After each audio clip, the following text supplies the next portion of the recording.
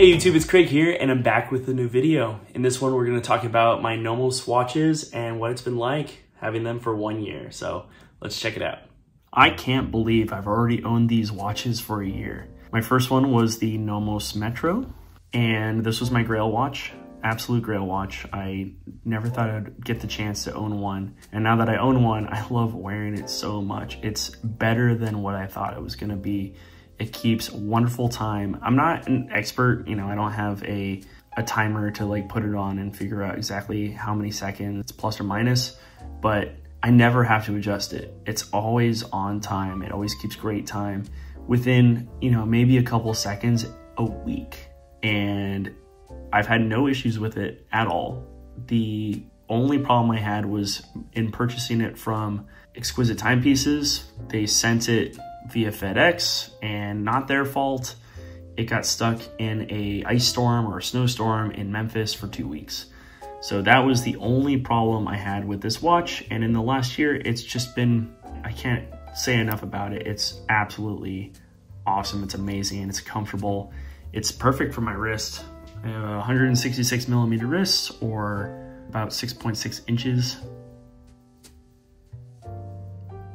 It's like the perfect size, 37 millimeters. Since the bezel is so thin, it just looks a lot bigger on my wrist. Club Campus, I ordered from Tourneau and it came from Hawaii.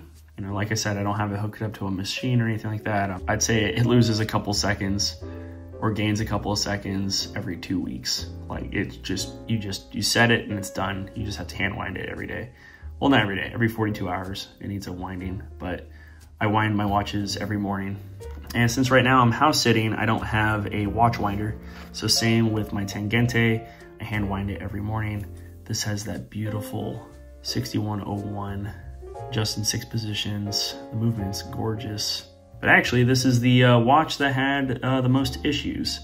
So when I first got the watch, it was probably losing four or five seconds a day, sometimes more. I would have to really adjust the watch every like two or three days because it would be off by a couple minutes. There was a lot of play with the hands. So if I pull out the crown here, there was a lot of play. So like I can twist this a little bit and you can see that it's a little loose, but there was a lot of play with the hands and more so than, it, than this now. There were some known issues with this watch, uh, with the movement. And I experienced that on November 6th when I was trying to adjust the watches for daylight savings to fall back an hour. I pulled out the crown and this thing literally shot across the room. The entire stem came out of the, of the watch and I was flipping out. Like, here's the, this is the most expensive of the three. And here it is, the entire stem came out and I now have this watch that this was purchased through teddybaldassarre.com, and I will never buy from teddybaldassarre.com because of the process that went through this repair. It was covered under warranty. Nomos acknowledged it was a known issue with this particular caliber, and they had since fixed it. I had to go through teddybaldassarre.com's customer service, which was great. I I met my friend Gabe through them. He now works for Disney with me. So like that friendship is is awesome. That's probably the best thing to come out of this. But he left uh, Teddy Baldassarre, but they work through a jeweler called Borsheim's, which is they've been in business for I think well over 100 years. But when you buy a watch through Teddy Baldassarre, it goes through Borsheim's. Like they, they're the ones who actually like allocate it and sell it and handle the customer service. And that experience was not the best. So what happened was I contacted them.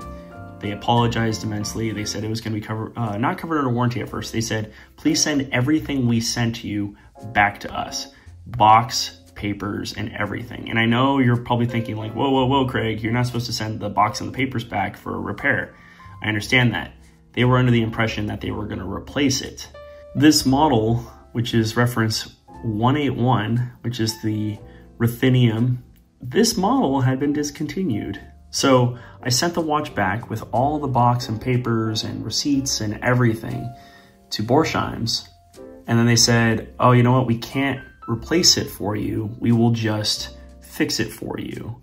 And then your warranty will continue for two years beyond that. And they had originally quoted me for six weeks for the repair and it took almost three months for the repair.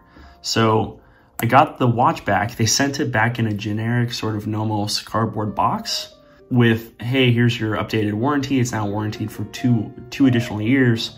But I didn't get my box, which is a leather case, or my, my papers back. And everyone was saying like, whoa, no, no, no, you shouldn't have sent that. But they were gonna replace the watch, but there was no watch to replace because this watch has been discontinued. So yeah, it was a lot, it was a big headache. They did finally send back my original box and papers, which is crazy because the papers have my handwriting on it and they had all that stuff, but for whatever reason, they neglected to send it. So I got the watch back and you know what?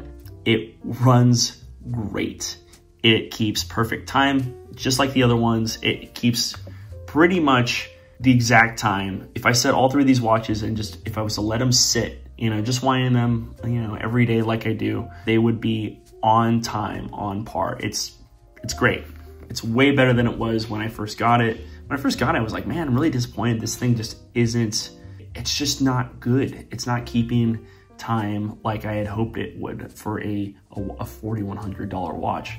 It's a little big on my wrist because it is uh, 40 millimeters. It's like 40.5 millimeters, something like that. But honestly, it's hard, always hard to tell with the lugs and on camera. The lugs don't extend beyond uh, beyond my wrist. It's just, it's always kind of how it looks on camera. But I, I love it. It's great. I really like the date ring and how uh, you can also adjust the date in either direction. See that date ring. Today is Friday the 13th. It's super easy to set the date on this thing. But now that, you know, now that it is fixed and I'm back to wearing it, I, you know, I'm happy with it. Because of the headaches of dealing with two different sides of customer service, I, won't buy from teddybaldassarre.com again. It just wasn't a very good experience. The best experience was meeting the customer service guy, Gabe, giving him that watch and now we're like buddies and I, I gotta hang out with him real soon. But yeah, that's my my kind of my experience with Nomos, uh, with the, my Nomos watches. You know, I, I'm still like four years away from needing to have any of the other ones serviced. I told myself if I ever got a Nomos watch, I would I would wear it every single day. And I have three of them and I'm proud that I get to wear a Nomos on my wrist every single day. And that's the video. Thanks so much for checking out, you guys. If you have any questions about the watches, go ahead and leave a comment down below. If you like the video, give it a thumbs up. Subscribe for more content like this, but mostly right now, it's it's pretty much all fountain pens. I've got my Nomos watches and I'm really happy with them, but it's gonna be mostly fountain pen related content from here on out. Check out my Instagram, at Greek and we'll see you all in the next video. All right, peace.